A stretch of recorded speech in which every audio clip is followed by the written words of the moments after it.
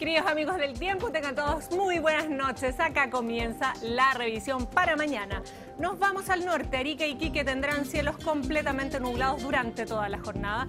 Antofagasta y Copiapó comenzarán el día con cielo nublado, pero esto irá variando a despejado por la tarde. La máxima para Copiapó alcanzaría 32 grados. La Serena espera cielo con nubosidad parcial.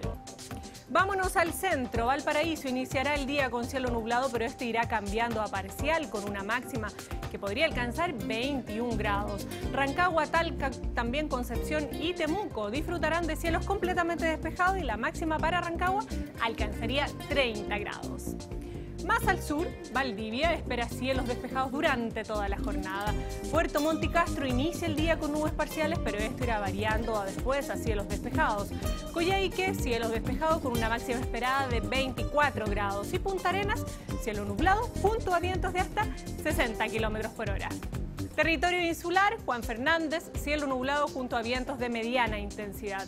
Isla de Pascua tendrá cielo con nubes parciales y en ocasiones algo nublado y una máxima de 27. Y Antártica, cielo con nubosidad parcial durante todo el día.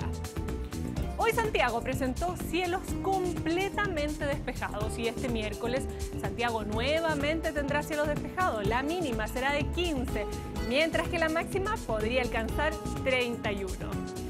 Hasta acá llegamos con la revisión del tiempo. Que tengan muy buenas noches. Quédense en nuestra compañía.